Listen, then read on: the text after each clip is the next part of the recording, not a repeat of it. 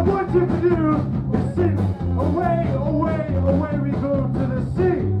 Now Jason over here is going to show you exactly how it's done. Are you ready, Jason?